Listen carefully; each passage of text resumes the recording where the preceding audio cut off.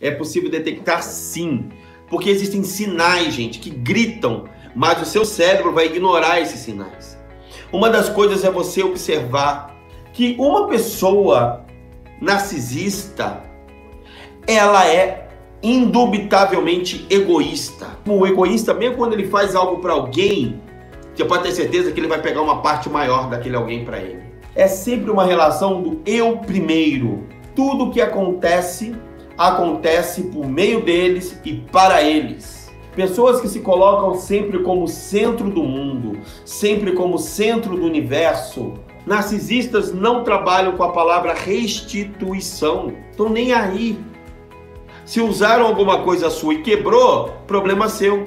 E aí sabe o que acontece?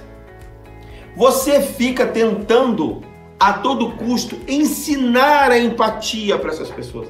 Gente, não existe escola de empatia. Isso está dentro da gente. Isso vem, vem, vem, isso vem de fábrica.